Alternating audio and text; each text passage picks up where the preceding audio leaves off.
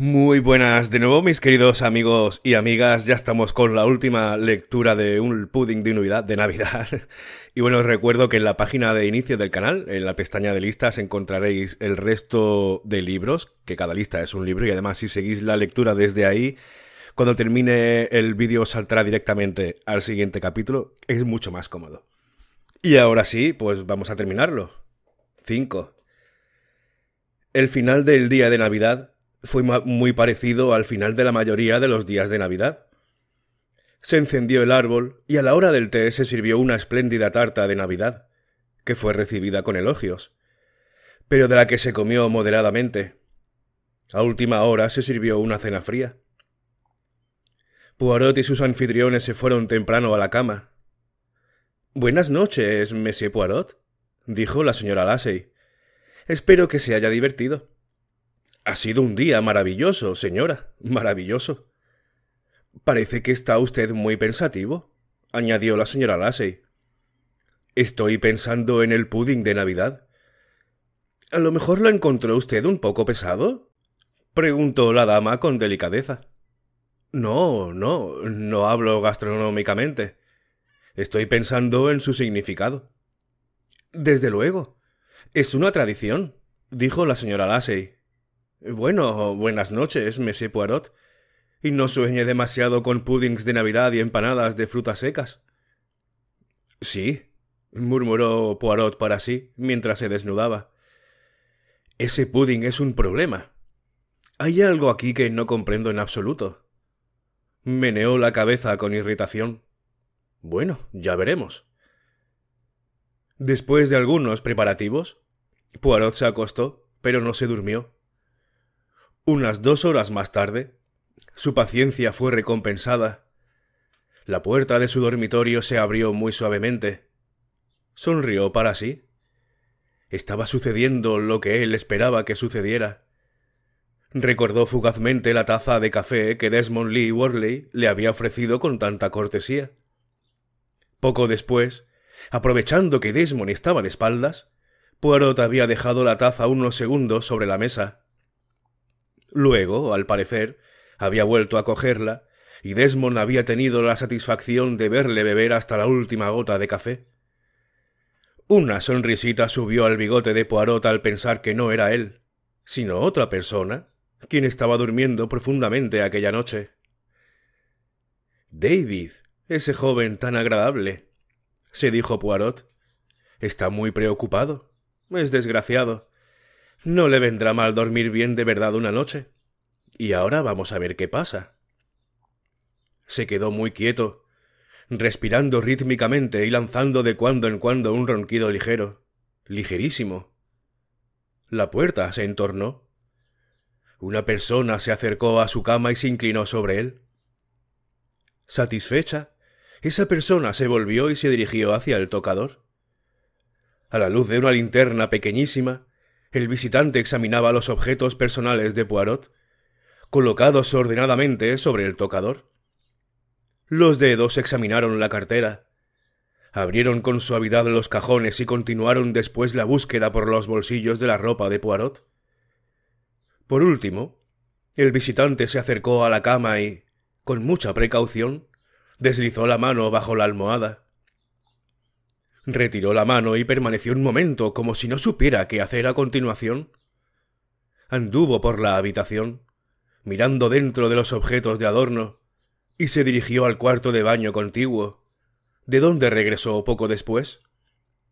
Luego, lanzando una débil exclamación de descontento, salió de la habitación. Ah. susurró Poirot. Te has llevado una desilusión. Sí, sí, una desilusión muy grande. Bah, ¿cómo pudiste imaginar siquiera que Poirot iba a esconder algo donde tú pudieras encontrarlo?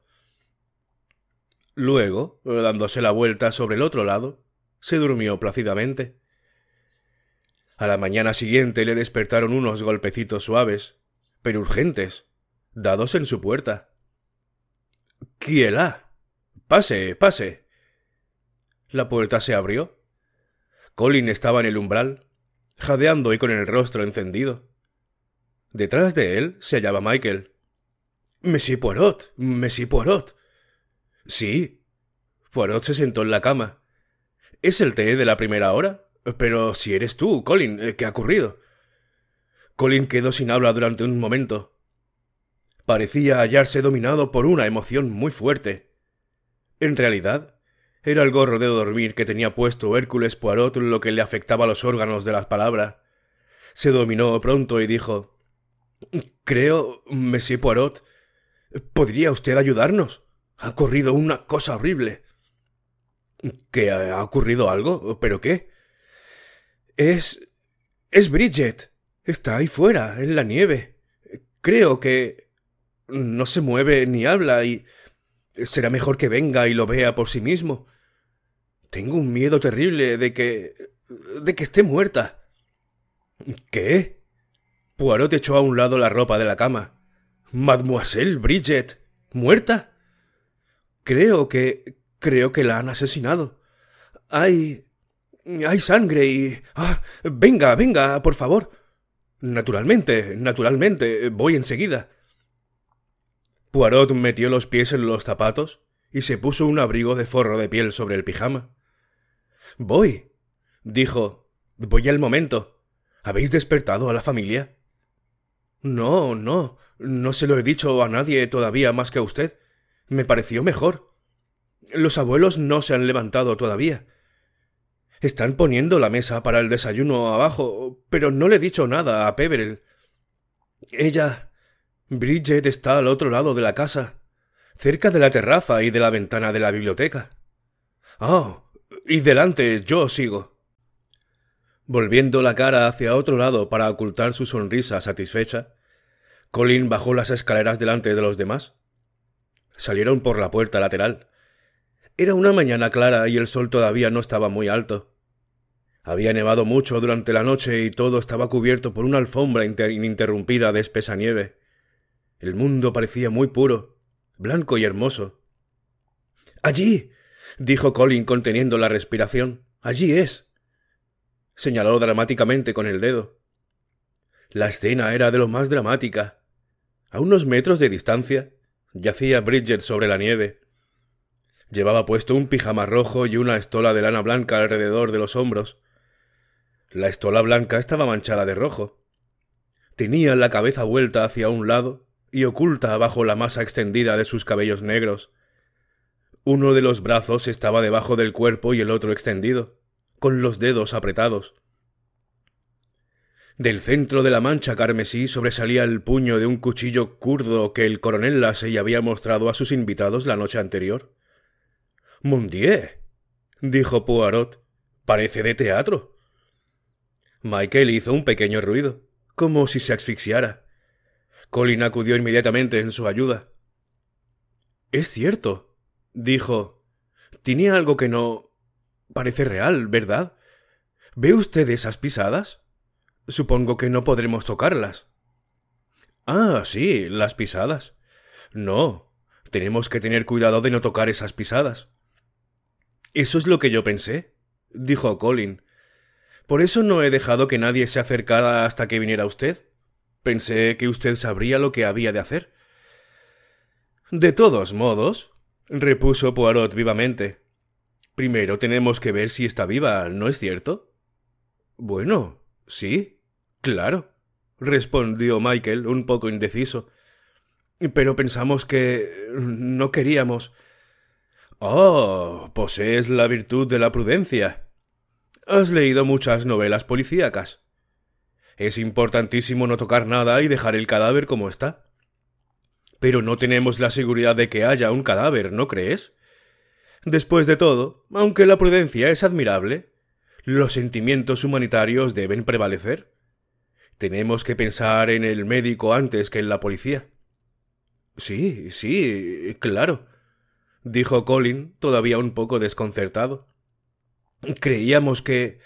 Pensamos que era mejor que fuéramos a buscarle a usted antes de hacer nada. Intervino Michael rápidamente. Quedaos aquí los dos, les advirtió Poirot. Yo me acercaré por el otro lado para no tocar esas pisadas. Unas pisadas tan estupendas tan sumamente claras. Las pisadas de un hombre y de una muchacha que se dirigen juntas al lugar donde está ella.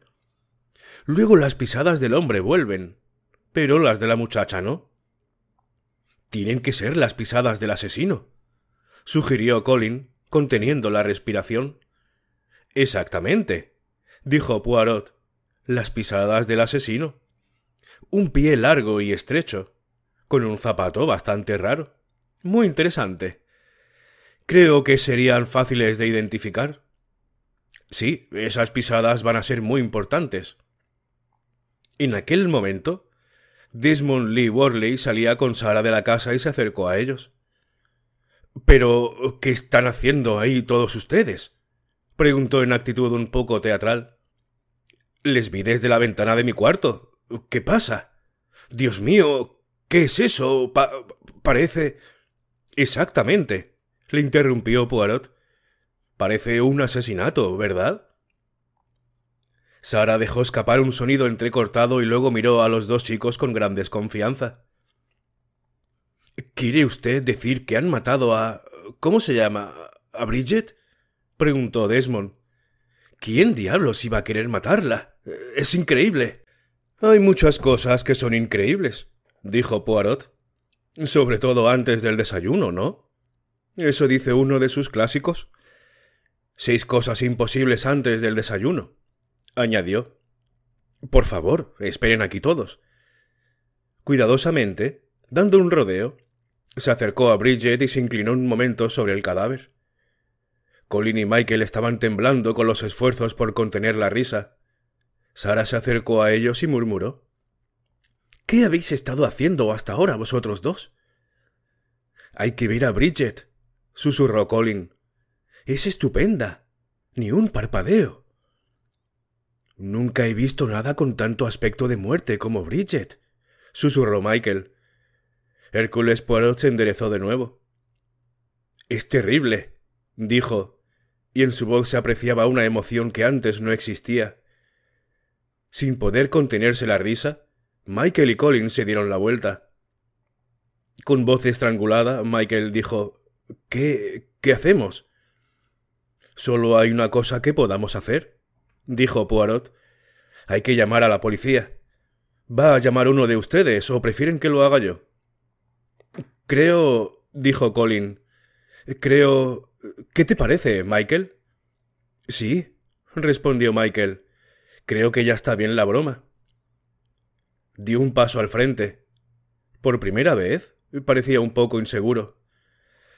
Lo siento muchísimo, empezó a decir. Espero que no lo tome demasiado a mal. Mm, todo. todo fue una especie de broma de Navidad. Se nos ocurrió, bueno, prepararle un asesinato. ¿Se os ocurrió prepararme un asesinato? Entonces esto. Entonces esto.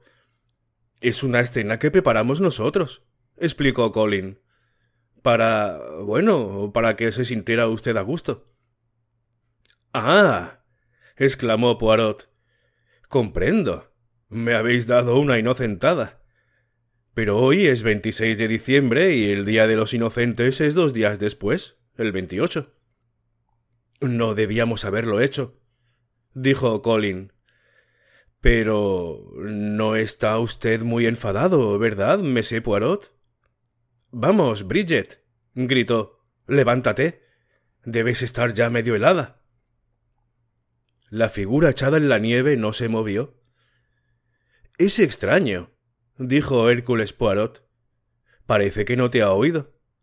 Les miró pensativo. ¿Dices que es una broma? ¿Estáis bien seguros que es una broma? Sí, claro que sí, aseguró Colin, incómodo. No. no queríamos hacer daño a nadie. Pero entonces, ¿por qué no se levanta Mademoiselle Bridget? No tengo ni idea, dijo Colin. Vamos, Bridget, gritó Sara impaciente. Déjate de hacer el idiota. Ahí tirada. De verdad, Monsieur Poirot, lo sentimos muchísimo. Colin hablaba con aprensión. Le pedimos mil perdones. No tenéis por qué, repuso Poirot con voz extraña. ¿Qué quiere decir? Colin le miró fijamente. Luego se volvió hacia Bridget. Bridget. Bridget. ¿Qué pasa? ¿Por qué no se levanta? ¿Por qué sigue ahí tirada? Poirot hizo una señal a Desmond. Usted, señor Lee Worley, venga aquí. Desmond acudió a su lado. Tómele el pulso, le ordenó Poirot. Desmond Lee Worley se inclinó. Tocó el brazo, la muñeca. No tiene pulso. Se quedó mirando a Poirot. El brazo está rígido. Dios santo. está muerta de verdad. Está muerta. Poirot asintió con un movimiento de cabeza. Sí, está muerta, dijo. Alguien ha convertido la comedia en tragedia. ¿Alguien? ¿Quién? Hay una serie de pisadas que se acercan aquí y luego se alejan. Una serie de pisadas que se parecen muchísimo a las pisadas que acaba usted de hacer, señor Lee Worley, al venir desde el camino. Dismond Lee Worley giró en redondo. ¿Qué diablos? ¿Está usted acusándome a mí? ¿A mí? ¿Está usted loco? ¿Por qué diablos iba yo a querer matar a la chica? Ah, ¿por qué? No lo sé. Vamos a ver. Se inclinó. Muy suavemente. Apartó los dedos contraídos de la chica. Desmond contuvo el aliento. En sus ojos había una expresión de incredulidad. En la palma de la mano de la muerta había algo que parecía un gran rubí. Es aquella maldita cosa que estaba en el pudding. gritó. ¿Sí? dijo Poirot. ¿Está usted seguro? Claro que lo estoy. Con un movimiento rápido, Desmond se inclinó y arrancó la piedra roja de la mano de Bridget. No debía haber hecho eso, dijo Poirot en tono de reproche. Tenía que dejarse todo como estaba. No he tocado el cadáver. Pero esto podía. podía perderse y es una prueba. Lo que hay que hacer es avisar a la policía lo antes posible. Voy enseguida a telefonear. Giró en redondo y corrió en dirección a la casa. Sara acudió vivamente al lado de Poirot. No comprendo. susurró. ¿Qué quería usted decir con con eso de las pisadas?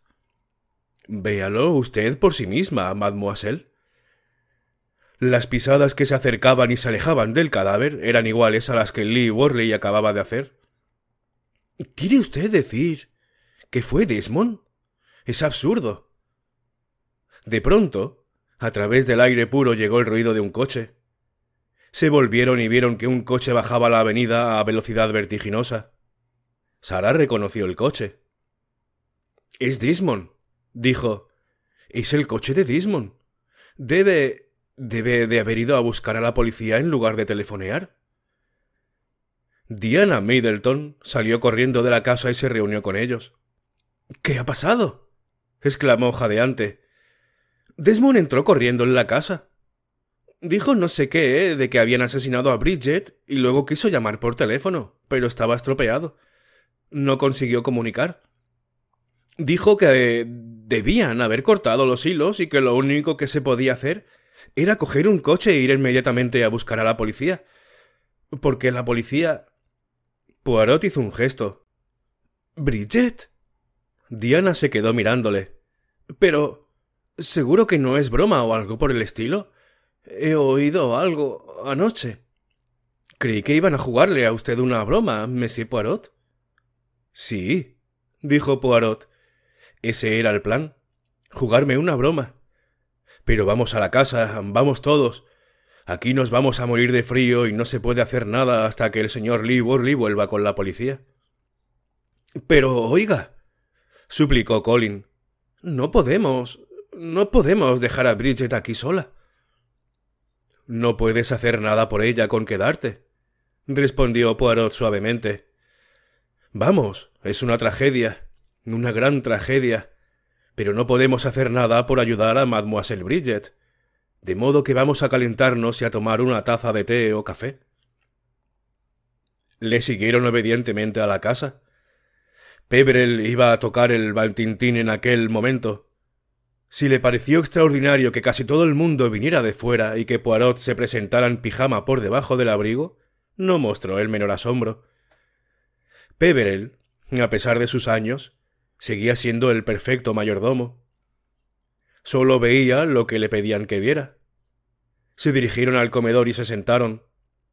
Cuando todos tuvieron ante ellos una taza de café, Poirot empezó a hablar. Tengo que contarles una pequeña historia, exclamó. No puedo darles todos los detalles, eso no, pero puedo contarles lo principal. Trata de un joven príncipe que vino a este país. Trajo consigo una joya famosa, para montarla de nuevo para la dama con quien iba a casarse. Pero, por desgracia, primero hizo amistad con una señorita muy bonita. A esta señorita no le gustaba mucho el hombre, pero sí le gustaba la joya. Tanto que un día desapareció con esta prenda, que había pertenecido a la familia del príncipe a través de muchas generaciones. El pobre joven, como ven ustedes, se encuentra en un aprieto. Por encima de todo, tiene que evitar el escándalo. Imposible acudir a la policía. Entonces acude a mí, Hércules Poirot. Recupéreme mi histórico rubí, me dice. Eh bien, la señorita tiene un amigo, y el amigo ha hecho negocios muy dudosos. Ha estado complicado en chantajes y en venta de joyas en el extranjero. Siempre ha sido muy hábil. Se sospecha de él, sí, pero no se le puede probar nada. Llega a mi conocimiento que este caballero tan hábil está pasando las navidades en esta casa. Es importante que la bonita señorita, una vez conseguida la joya, desaparezca de la circulación por una temporada, para que no puedan ejercer presión sobre ella ni la puedan interrogar. Por lo tanto, se las arreglan de modo que venga a esta casa, a King's Lassey, pasando ante los demás por hermana de nuestro hábil caballero. Sara contuvo la respiración. No puede ser. No. Aquí. conmigo. Pues así es, dijo Poirot. Y, valiéndonos de una pequeña estratagema, se me invita a mí también a pasar las navidades en Kingslassey. Aquí, en la casa, dicen que la señorita acaba de salir del hospital. Está mucho mejor al llegar. Pero entonces se corre la voz de que voy a venir yo. Un detective, un detective famoso. Y la señorita, según el dicho popular, no le llega la camisa al cuerpo. Esconde el rubí en el primer sitio que se le ocurre y luego sufre una recaída y se vuelve a la cama no quiere que yo la vea, porque es seguro que tengo una fotografía de ella y que la reconocería. Es muy aburrido para ella, desde luego, pero tiene que quedarse en su habitación y su hermano le sube la comida. ¿Y el rubí? preguntó Michael. Creo, dijo Poirot, que en el momento en que se mencionó mi llegada, la señorita estaba en la cocina con los demás, riéndose, hablando y batiendo los puddings de Navidad. Meten los puddings en los moldes y la señorita esconde el rubí en uno de ellos, hundiéndolo bien. No en el que vamos a comer el día de Navidad. No, no, ese sabe ella que está en un molde especial. Lo pone en el otro, el que está destinado para el día de Año Nuevo.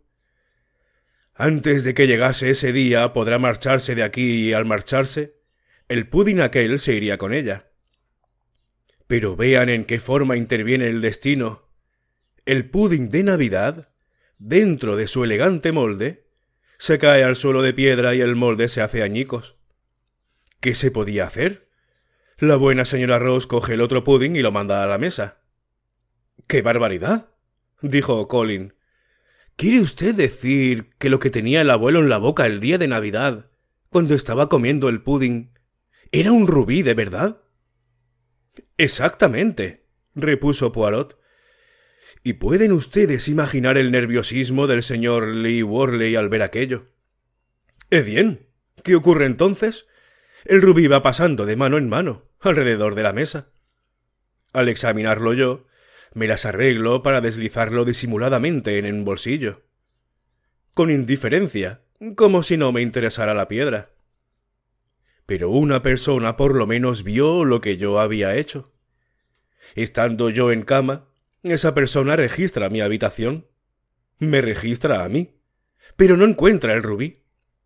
¿Por qué? Porque. dijo Michael conteniendo la respiración.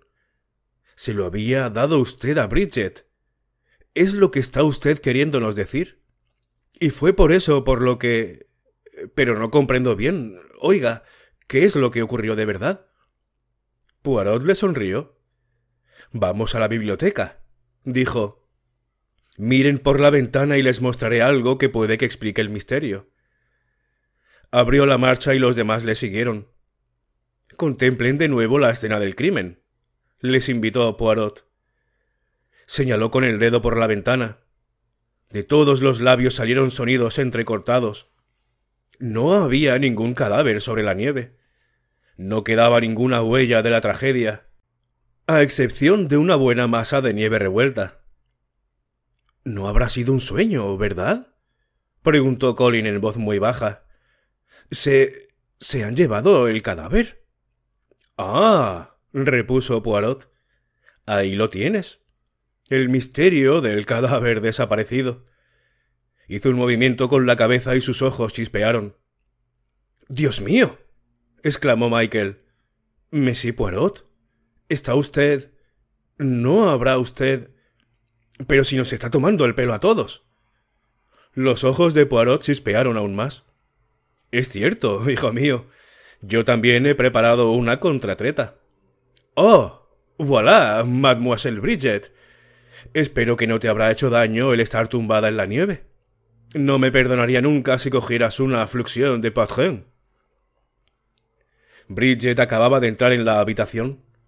Llevaba una falda gruesa y un jersey de lana. Estaba riéndose. He hecho que te subieran una tisane a tu habitación, dijo Poirot con severidad. ¿Te la has tomado? Un sorbito me bastó, dijo Bridget. Estoy muy bien. Lo he hecho bien, Messi Poirot. ¡Qué horror! Todavía me duele el brazo del torniquete que me hizo usted poner. Estuviste espléndida, hija mía, dijo Poirot. Espléndida. Pero oye, todos los demás siguen en ayunas. Anoche fui a hablar con mademoiselle Bridget. Le dije que estaba enterado de su pequeño complot y le pregunté si estaba dispuesta a interpretar un pequeño papel. Lo hizo muy bien. Marcó las pisadas con un par de zapatos del señor Lee Worley. Sara dijo con voz áspera. Pero. ¿A qué viene todo eso, Monsieur Poirot? ¿A qué viene mandar a Desmond a buscar a la policía? Se pondrá furioso cuando vea que todo era un engaño. Poirot meneó la cabeza suavemente. Es que yo no creo ni por un instante que el señor Lee Worley haya ido a buscar a la policía, mademoiselle, dijo. El señor Lee no quiere verse mezclado en asesinatos. Perdió la cabeza por completo. Lo único que vio fue la oportunidad de coger el rubí. Lo cogió. Fingió que el teléfono estaba estropeado y salió corriendo con el coche, pretendiendo que iba a buscar a la policía. En mi opinión, no le va a volver a usted a ver en una temporada. Tengo entendido que tiene su sistema para salir de Inglaterra. Tiene avión propio, ¿no es así, mademoiselle? Sara asintió con la cabeza. Sí, dijo. Estábamos pensando en. Se calló. Quería que se fugara usted con él por ese medio, ¿no es cierto? Eh, bien, es un sistema muy bueno para sacar una joya del país. Cuando un hombre se fuga con una chica y se da publicidad al hecho, no se sospecha que el hombre esté al mismo tiempo sacando del país, de contrabando, una joya histórica. Ya lo creo. Hubiera sido un buen camuflaje. No lo creo, repuso Sara. No creo ni una palabra de todo eso. Pregúntele entonces a su hermana, sugirió Poirot, haciendo una indicación con la cabeza. Sara se volvió rápidamente. Una rubia platino estaba de pie en el umbral. Llevaba puesto un abrigo de piel y miraba con ceño. Se veía que estaba furiosa. ¡Qué hermana, ni qué narices! exclamó soltando una risita desagradable. Ese canalla no es hermano mío. ¿De modo que se ha largado y me ha dejado a mí con el muerto? Todo fue idea suya. Él fue el que me metió en esto. Dijo que era tirado. Nunca nos denunciarían. Por miedo al escándalo. En último caso, podía amenazar con decir que Ali me había regalado la joya. Desmond y yo nos íbamos a repartir el dinero en París y ahora el muy canalla me deja plantada. Le mataría. Cambió bruscamente de tema. Cuanto antes salga de aquí. ¿Puede alguno de ustedes pedirme un taxi?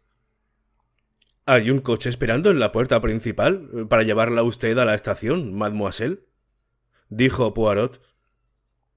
Está usted en todo, ¿eh? En casi todo, corrigió Poirot, visiblemente complacido.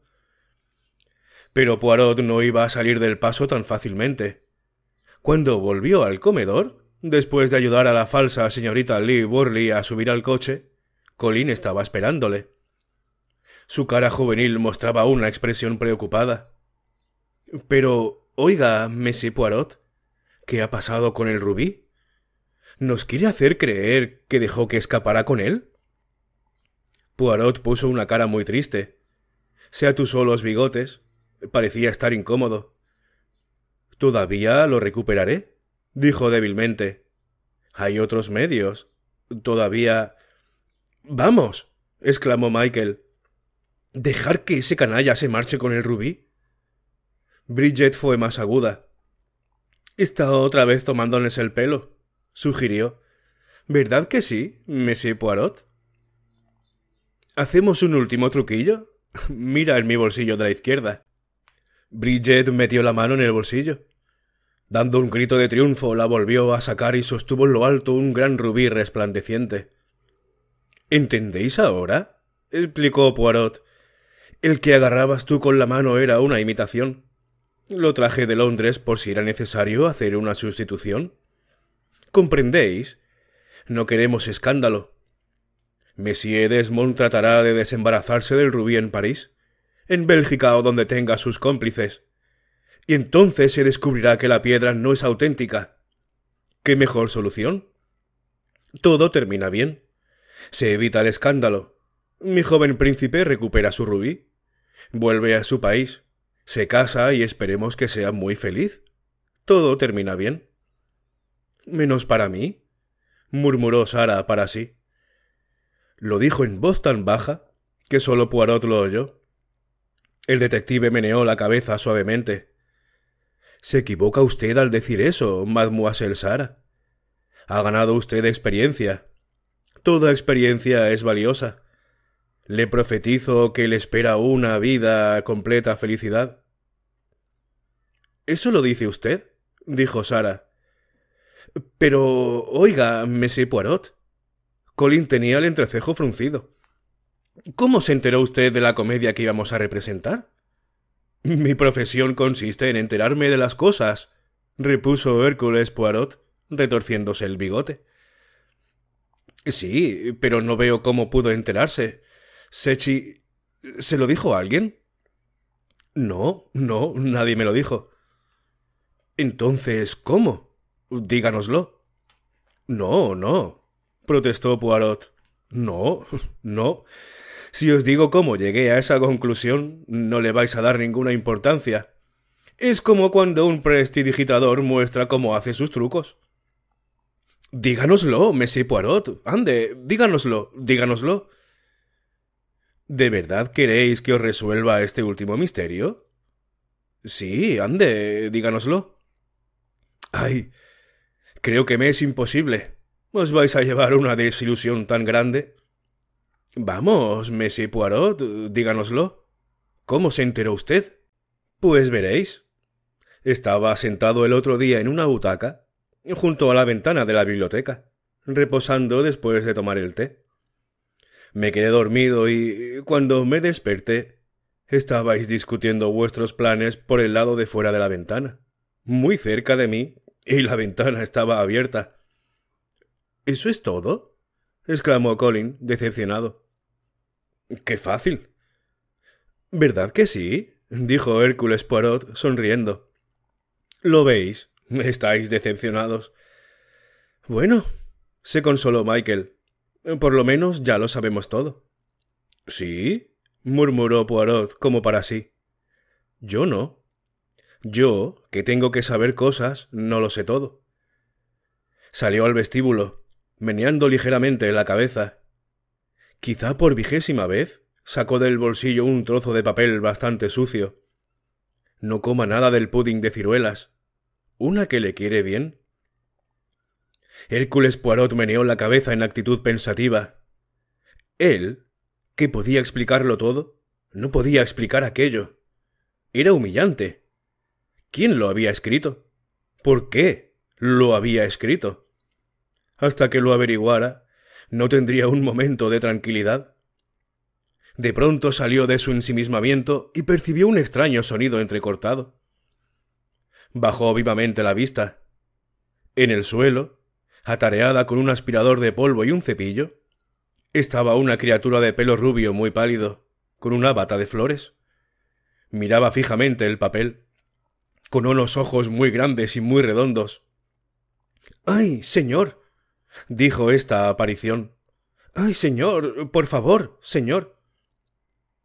¿Y usted quién es, mon enfant? preguntó Poirot alegremente. Annie Bates, señor para servirle. Vengo a ayudar a la señora Ross. No quería, señor, no quería hacer.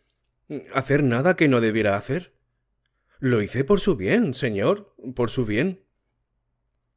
En el cerebro de Poirot se hizo la luz. Extendió el brazo que sostenía el sucio trozo de papel.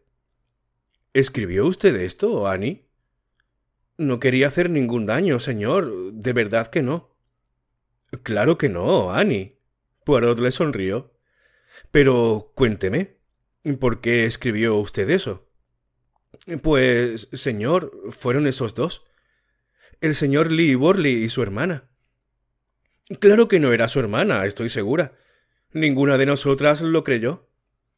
Y no estaba nada enferma. Todas nos dimos cuenta. Pensamos.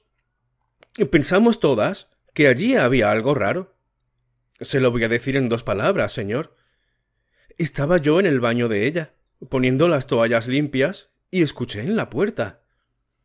Él estaba en la habitación de ella y estaban hablando. Oíle que decían como le oigo ahora a usted. Ese detective. Estaba diciendo él. Ese tal Poirot que va a venir. Tenemos que hacer algo. Tenemos que quitarle de en medio lo antes posible. Y entonces él de un modo desagradable y siniestro, bajando la voz, le dijo Dime, ¿dónde lo has puesto? Y ella le contestó En el pudding. Ay, señor, el corazón me dio un salto tan grande que creí que nunca más me iba a volver a latir. Creí que querían envenenarle con el pudding. No sabía lo que hacer. La señora Rose no se para a escuchar a las de mi condición. Entonces se me vino a la cabeza la idea de escribirle un aviso. Y lo escribí y se lo puse en la almohada para que lo viera a ir a acostarse. Annie se cayó sin aliento. Poirot la observó gravemente durante unos momentos. Me parece, Annie, que ve usted demasiadas películas sensacionalistas, dijo por último. ¿O es la televisión la que le afecta? Pero lo importante es que tiene usted buen corazón y cierto ingenio. Cuando vuelva a Londres le mandaré a usted un regalo. Ah, señor, gracias. Muchas gracias, señor. ¿Qué quiere usted que le regale, Annie? Cualquier cosa que quiera el señor. ¿Puedo pedir cualquier cosa? Dentro de unos límites razonables, sí, repuso Hércules Poirot con prudencia. Ay, señor. ¿Me podría regalar una polvera? Una polvera elegante, de esas que se cierran de golpe como la que tenía la hermana del señor Lee Worley, que no era su hermana. Sí, concedió Poirot. Sí, creo que eso podrá arreglarse. Quedó pensativo un instante y después musitó. Es interesante. Estaba el otro día en un museo, observando unos objetos de Babilonia o de uno de esos sitios, de hace miles de años, y entre ellos había unos estuches para cosméticos. El corazón de la mujer no cambia. ¿Cómo dice, señor? preguntó con gran interés Annie. Nada, dijo Poirot. Estaba reflexionando. Tendrá usted su polvera, hija mía. Ay, muchas gracias, señor. Muchísimas gracias, señor. Annie se alejó, estática. Poirot la miró, meneando la cabeza con satisfacción. Ah, se dijo, ahora me voy. Ya no queda nada que hacer aquí. Un par de brazos le rodearon los hombros inesperadamente. ¿Si se pone usted justo debajo del muérdago? dijo Bridget. Hércules Poirot se divirtió. Se divirtió muchísimo. Pasó unas navidades estupendas. bueno, creo que es el primer... Aquí hemos terminado, por cierto. Creo que es el primer relato en el que parece ser que le dan un beso aquí a Poirot. No ha salido, pero se supone que sí, están ahí debajo del muérdago. bueno, ya sabéis, pronto empezaremos, supongo que mañana o pasado mañana, empezaremos con Trágicas Navidades, también de Hércules Poirot. Esta vez no es un relato corto, es una novela así larga en toda la extensión de la palabra, ¿eh? Una novela, tiene 180 páginas, creo. Y nada, espero que lo hayáis disfrutado, que os haya gustado. Muchísimas gracias por vuestra compañía y hasta luego.